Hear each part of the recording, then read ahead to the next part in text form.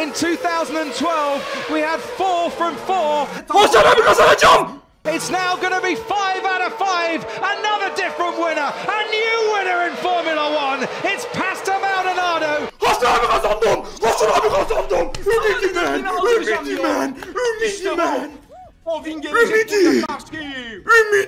A few moments later. Okay, very good job, Pastor P1. Good job, very good drive. Very good job, guys. Very good job. Keep pushing like that. So much pressure from Alonso, and it was Maldonado that kept those rear tyres intact. Oh, you touch my tra-la-la.